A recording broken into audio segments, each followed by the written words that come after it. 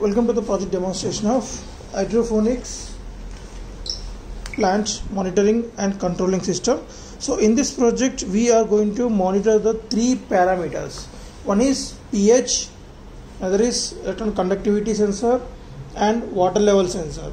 Based on these three inputs we are going to controlling the three pumps. Whenever the pH is above 7.5 then we are going to control the neutralizer motor. So this is a peristaltic pump. Will pump the uh, liquid to leveling of this pH value.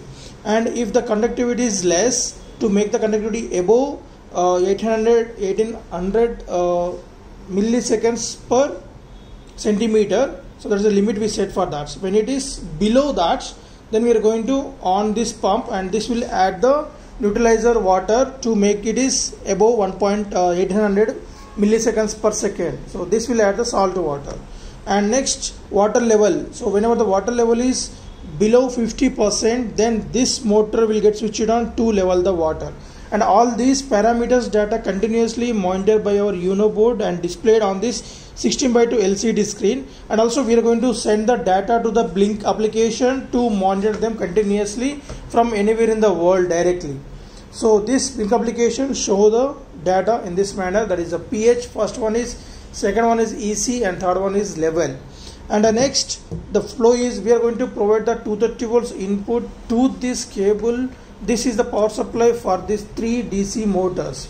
So as we provide the DC power supply that's why we are making use of this regulated power supply boards which will take 230 volts AC input and it has the four stages. That is step down means uh, AC2 AC like step down 12 volts AC to 30 volts AC2 and the next uh, rectifier and next filtration and next regulation. So there we will get the pure 5 volts DC power supply which is sufficient to run these three motors. This is the same purpose as we need to provide the high power that's why we are using two regulated power supply boards. And the next this is the electromagnetic relay board 5 volt operated.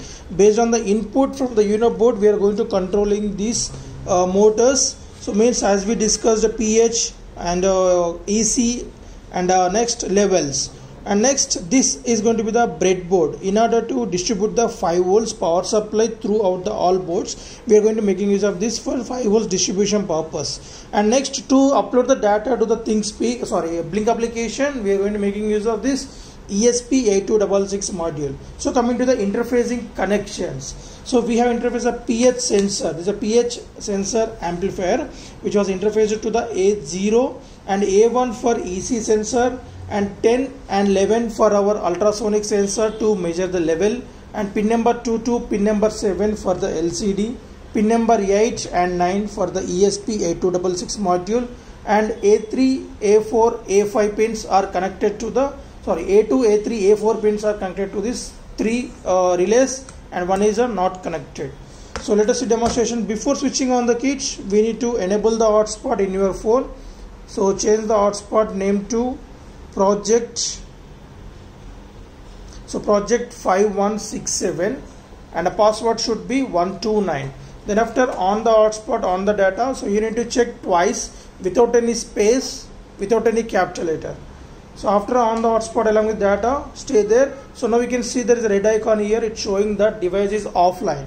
Once we switch on the power supply then it will be connected to the Blynk app. So provide the power supply for that motors. And uh, then this is the adapter which will take to the volts input and provide as the 5 volts output for the uh, Arduino Uno and our controllers.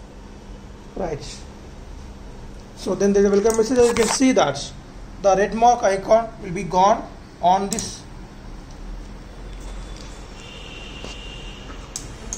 So let us place the level for high.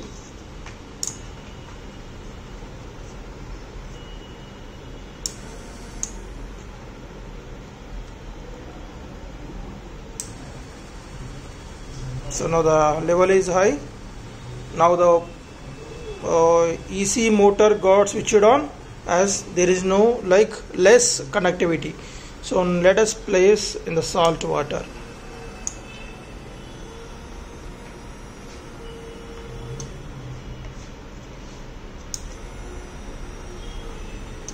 Right. Okay. And coming to the pH value also. So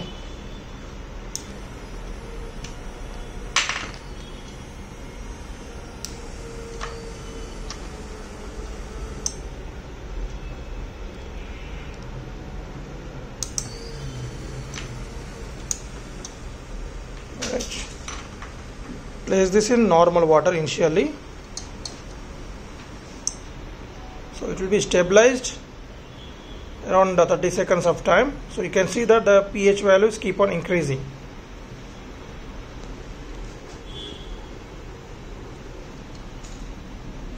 So let us place this in the lime water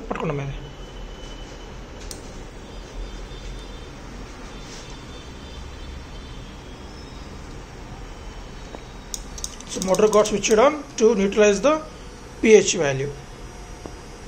Right. And continuously we can get the data into the Blynk application